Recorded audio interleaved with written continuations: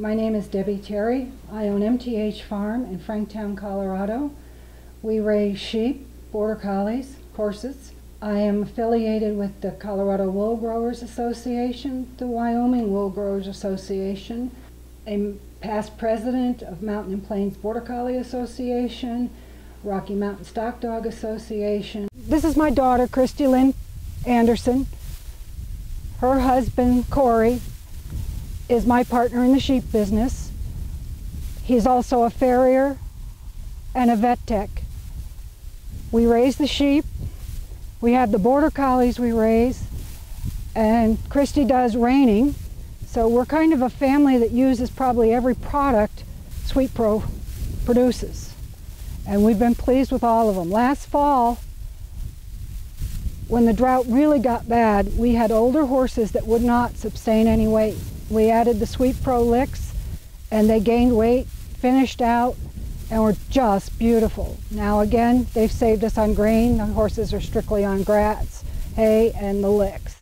The price of hay currently in Colorado is nearly $500 a ton. So we were definitely looking for something that would reduce our hay costs, let alone with our grain costs. So we tried the product, and the first thing that happened is my sheep went through it like water. and I said, how is this going to be economically sound? I reinvested in some more. After they'd been on it for a while, they were going not through it as anywhere near as rapidly, and they were their fleeces looked better. My manure production decreased. My hay production of feeding decreased. I didn't have to feed as much grain. Then Lisa, who is a distributor for Sweet Pro, said, How'd you like to be a dealer? And I said, Well, I got to think about that. And I said, Before I agree to be a dealer, I'm going to test this product for a year under my conditions. They said, Great, no problem. So I went to a friend up in Wyoming who has a big sheep ranch and purchased 30 cull ewes. And a cull ewe on a commercial operation is a lamb that will not breed at six or seven months and I brought them home in March. I put them on the product. I bred them, and I'm trying to remember, probably August or September. All but four settled. All produced triplets, twins, or very large singles. And the only difference that I gave them was the Sweet Pro. And they were fed the same alfalfa hay that they were getting up in Wyoming. That convinced me right there that the value was unbelievable. Now I could decrease my cost of feed decrease the amount of manure I had to deal with, and increase my production. Then, as added value, the ewes produced more milk, so my creep feeding costs went down. I could leave my babies on the ewes longer and not have as much cost related to creep feeding. I got more money for my wool that year than I ever have in the past.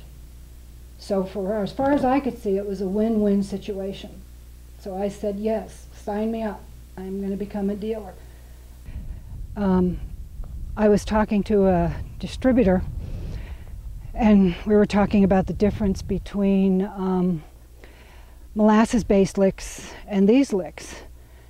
And what he liked the most is when he stacked these licks in the warehouse, and he stacked the molasses licks next to them in the heat, the molasses licks melted and the tubs sunk into each other and then dripped over and ran down onto his floor. And the Sweet Pro licks didn't do that. Also, we found the Sweet Pro licks don't dissolve in the rain, don't melt in the heat, and I don't have a dog that's covered in molasses. They're all, the, the Sweet Pro licks stay and they, and they eat them, lick them down, and then I talked to my friend in Wyoming and said, you need to try this product. You're in a drought. You have no water. You have, you're starting to feed, which means even though you have a huge hay ranch, you produce enough hay to feed your 3,000 plus ewes for the winter, but you're not producing enough hay to get them through the summer months. So um, take this product and use it. Since then, she's using one to two pallets a week I was up there a couple weeks ago, and there's no grass. I asked her what these sheep are living on, and she said, well, the scrub brush and whatever else is out there, and the Sweet Pro licks. And the nice thing is the, the ewes have not lost any condition and the lambs are growing without having to feed any hay. So they're thrilled. Then I tried this product. I used to flush my ewes and flush my rams with grain.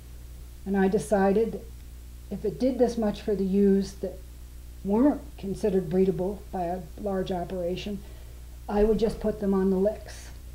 And I did, and I didn't give them any grain, and everybody produced. The lambs were great size. Because I have Finn in my lambs, we get triplets, and they're little. I call them the Jack Russells of the sheep world. They hit the ground running. They caught up in less than three weeks. They were as big as everything else. And nothing else was added. All my animals are getting is alfalfa hay, white salt, and Sweet Pro licks. I don't have any black noses or sticky things because the molasses licks um, melt in the sun and dissolve in the rain. They just hold their own. They're easy to move around in the 125 pound tubs. Um, they're just a win-win. In conclusion, I would recommend this product to anybody, actually any of their products. They make them for cattle, goats, bison, sheep, horses. Um, you can't recommend it. It's a great resource. If you have a question, you pick up the phone, they answer your questions.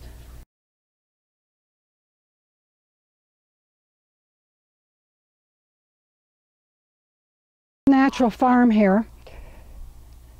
Boris is the white goose. Natasha is the brown goose. They're the alarm system. Peg Peg. She's the general manager, the dog.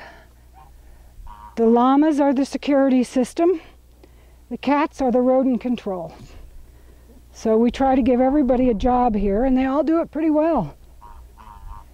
Mr. Coyote hasn't been here in a long, long time. So